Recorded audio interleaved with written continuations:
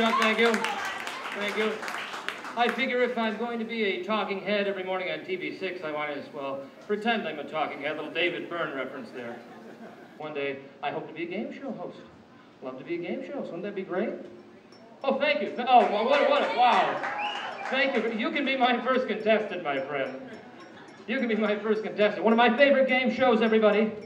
The Family Feud. How do you not like Wasn't it top five answers on the board? Love the Family Feud, but what drives me nuts about the Family Feud is that it doesn't matter who is on it. The Johnson family, the Smiths, the Smith family. No matter what they say, you have to always be excited about their response. You know, top five answers on the board, we're looking for things you have in your refrigerator. Aunt Mabel, a curling iron. Oh, good answer. Oh, that's a good answer. Good answer, Mabel. Yeah, come on, Mabel. Good answer. Good answer. Wouldn't it be great if other personalities did the news? You know, like if, if, if like some famous people came in to do the news locally, I think that'd be I think that'd be fantastic. You know, if Jerry Seinfeld came in to do the morning news one day, did a live report, wouldn't that be great? You know, you turn on the TV, I'm not there, it comes on. What's the deal with the Tea Party? Can you believe that they were down by the Capitol, the Tea Party? They were marching, they were protesting. I don't get it. I went downtown, I saw one of these Tea Party people at Biggby drinking a coffee. Somebody from the Tea Party's drinking a coffee? That doesn't make sense. I don't get it. We have a correspondent in the field. Let's go live to Cosmo Kramer joining us from downtown. Cosmo, how are things going? Jerry, you're not going to believe it.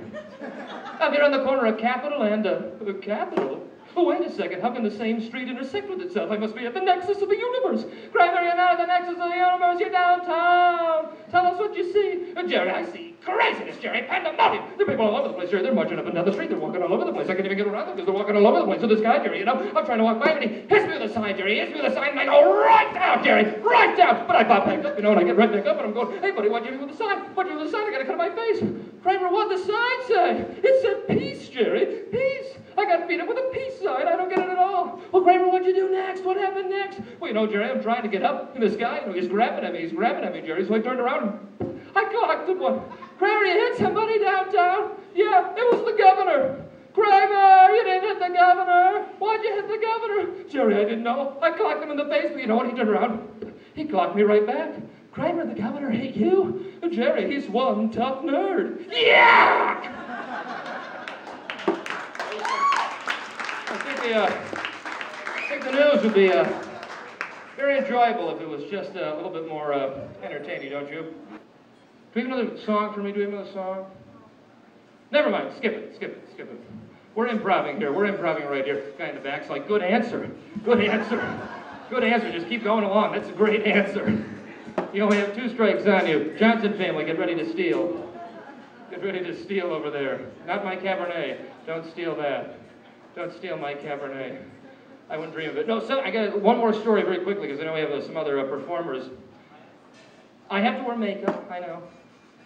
Not now, thankfully, though I probably need some. Got to wear makeup, right? Part of the job. Cost, cost money. Oh, thank you. Uh, yes, you look just as lovely in makeup, my dear. Just as lovely. But buying makeup.